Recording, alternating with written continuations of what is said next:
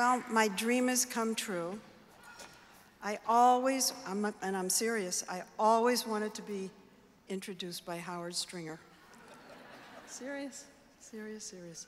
Howard, um, as many of you know, ran CBS News. He went on to run all of CBS, and then he went on to run all of Sony. And he proves that you can be a wonderful, lovely human being and still be a strong, effective leader. And that's an important thing to know.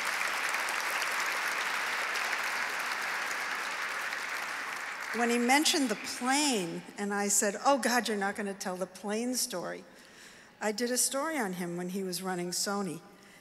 And we flew across the country and slept together. That's what I thought he was going to tell, you know, side by side. He's, he's obviously much more discreet than I am. I don't think he heard me. They've taken him off somewhere. so, I get, I get the Lizzie. And this has layers of meaning for me, starting with the fact that it's named after Liz Smith, who was my girlfriend who stood for so many wonderful things generosity, friendship, kindness, and humor, humor potty mouthed as she was. And you all know that. Liz gave her heart and soul and elbow grease to this organization.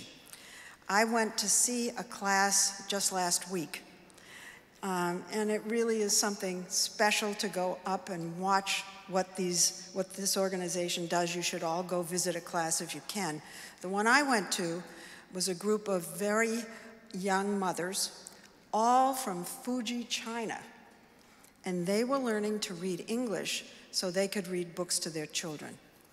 It was terrific. And I know that the, I know that the people I met are in the room somewhere. I don't know where you are but thank you very much for letting me join the class. Uh, Liz looked upon this organization as her child. She gave birth to it. She nursed it to life. And what better achievement for a human being than to start something that teaches adults to read? I miss her. We all miss her. I miss her salty Texas twang. And a lot of her very close friends are here tonight, and they're my friends too. And I want to thank you all for coming and being here tonight. It really means a lot to me. So, speaking of my mother, I remember my mother, Dolly, that was her name, desperately wanting me to have a career and telling me over and over again in her dreaded, I'm telling you, dreaded lectury voice, that reading would be the key for any, whatever profession I chose. Reading, meaning knowledge, will give you confidence, she said. And I grew up to tell my own daughter exactly the same thing. I was with a young mother the other day who said that she reads everything on her iPhone. I thought she meant she reads the news on her iPhone. But no, she reads everything on her phone, including books. She has an eight year old son, and she told me that she is worried sick because he sees her constantly buried in her phone. She's writing emails, checking the news, reading long books, and experiencing friendship through Facebook. The message to her son, she fears, is that life, all of life, is led on your phone. I am frantic myself about what life online is doing to us, to our relationships,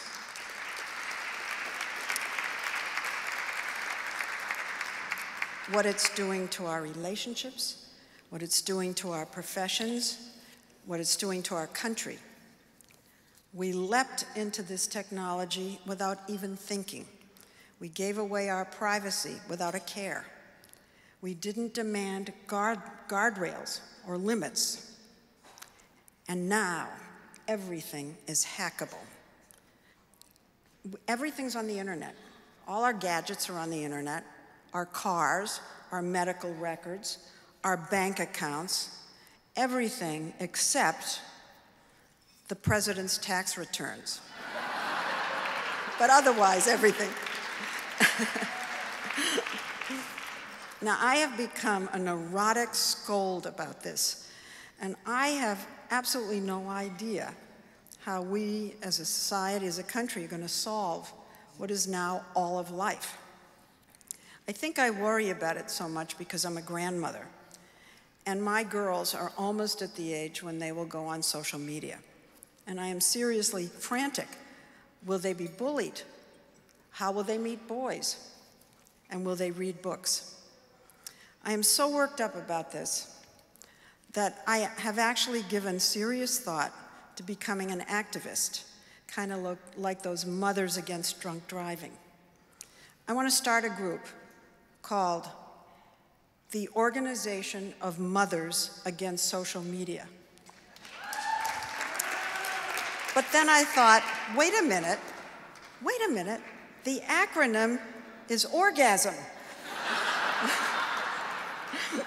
so, Bill, wherever you are, I think I'm going to keep my day job.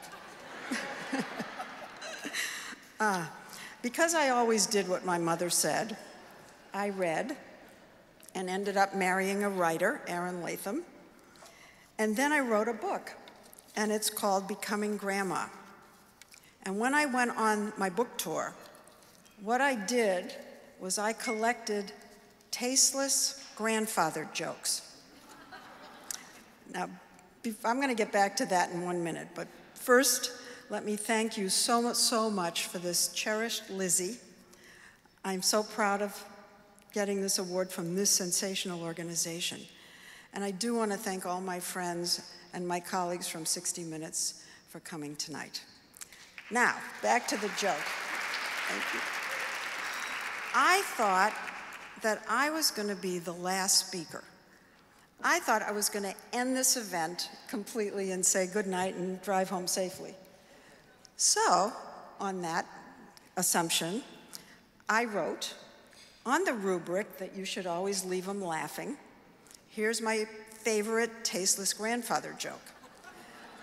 But I'm going to have to say, I guess, I'm going to tell you the most tasteless grandfather joke and then enjoy dinner. but I'm, I'm going to tell it to you because we all need a good laugh. It has nothing to do with anything.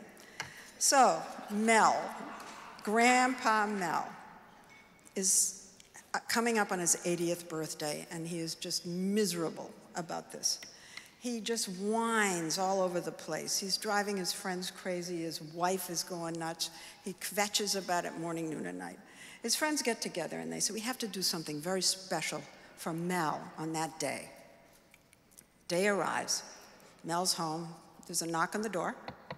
He opens, and there is the most gorgeous, statuesque, young, sexy, voluptuous girl, blonde. And she says, Hi, Mel, I'm Susie, and your friends sent me to give you super sex. And Mel, long pause. He looks down, he looks up, and he says, I think I'll take the soup.